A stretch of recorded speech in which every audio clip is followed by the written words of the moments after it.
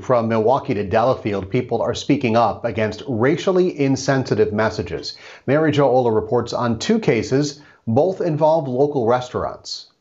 All lives matter. A Jet's Pizza employee on Milwaukee's east side posted these three words to a window. It just felt very very disheartening. Madi Gransberry photographed the sign Sunday and posted it to Facebook. It sparked backlash.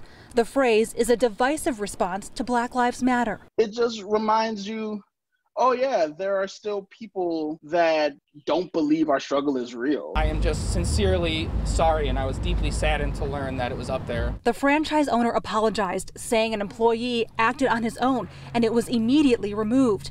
Jet's Pizza Corporate says in part the owner will have a conversation with the employee about how the message does not speak for Jet's Pizza or our franchise location. The words on the sign represent ignorance and a lack of respect for the black lives everywhere that matter. Racially insensitive cases aren't exclusive to Milwaukee over in Delafield. I was one of the parties involved in the incident and I was asked to move. Dylan Ali says last week he and two friends were at a restaurant called Fishbone's discussing George Floyd and recent civil unrest. I think it was a very good, healthy dialogue. Shortly thereafter, the manager came over and asked us if um, we would be willing to move down to a different area because he had a reservation coming in. The restaurant later admitted they were actually trying to address a perceived confrontation raised by a customer.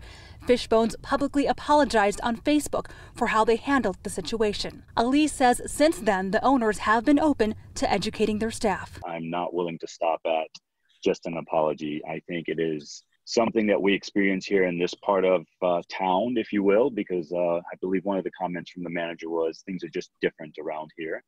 Um, I think it's a systematic conversation that needs to be had at a deeper level. Mary Jo Ola, TMJ4 News.